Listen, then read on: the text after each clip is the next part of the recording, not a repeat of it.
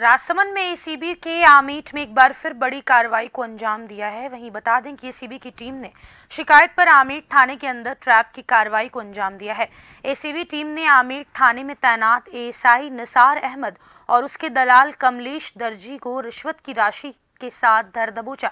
ACB team ने लगभग चालीस हज़ार रुपए की रिश्वत के साथ इन दोनों को गिरफ़्तार किया है।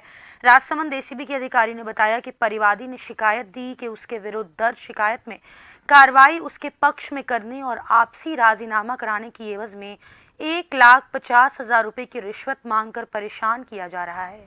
फ़िलहाल रिश्वत के मामले में पकड़े गए आरोपियों से पूछताछ के साथ इनके आवास और अन्य ठिकानों पर तलाशी जारी है।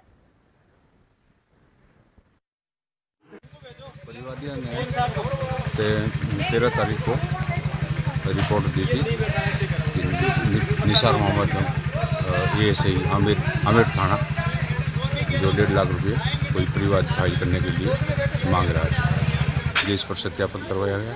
उसके बाद दलाल को चालीस हज़ार रंगे ले, लेते हुए पकड़ा गया।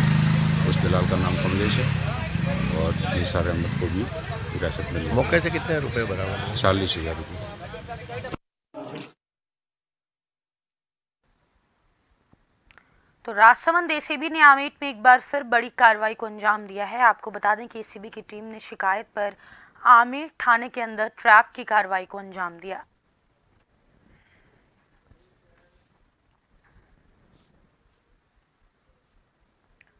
और इसी खबर पर ज़्यादा जानकारी के लिए हमारे संवाददाता सुनील जैन राजसमंद से जुड़ गए हैं।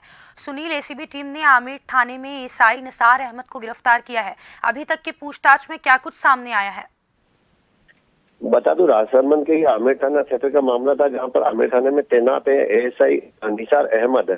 जिसने एक परिवादी से राजीनामा और उसके पक्ष में इस कार्रवाई को लेकर एक लाख पचास हज़ार रुपए की रिश्वत मांगी थी, जिसमें जिसमें दलाल था कमलेश दर्जी। उस मार्फत उनके सौदा करीब पचास हज़ार रुपए में तय हुआ था और रात्रि को सब चालीस हज़ार रुपए मौके पर देने की बात थी। जहाँ थाने पर ही कमलेश दर्जी चालीस हज़ार रुपए लेकर पहुँचा और उसी समय एसीबी की टीम, जहाँ पर पुलिस अधीक्षक थे एसीबी के मंचाराम उन्होंने इस कार्रवाई को अंजाम देते हुए मौके से ही दलाल सहित निसार अहमद को मौके से ही गिरफ़्तार कर लिया है। रात्रि को दोनों को गिरफ्तारी के बाद तो राजसमंद अपने साथ ले गई थी और वहीं एसीबी के जो पुलिस अधीक्षक है मंचाराम का कहना है कि इनके अब मकान की भी तलाशी ली जाएगी, जहाँ पर और इस मामले को लेकर और कुछ खुलासा हो सकता है।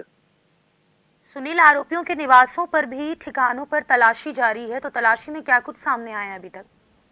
नहीं इस मामले को लेकर अभी तक किसी तरह से एसीबी ने कोई खुलासा नहीं किया, लेकिन रात्रि को भी तलाशी ली गई थी, मकान पर ही तलाशी ली गई थी, उसके बाद अब आज आगे की कार्रवाई अब सुबह तक और वापस शुरू की जाएगी, लेकिन फ़िलहाल पुलिस ने आगे एसीबी के अधिकारी ने इस मामले को लेकर और कोई जानकारी अभी पुष्टि नहीं की है।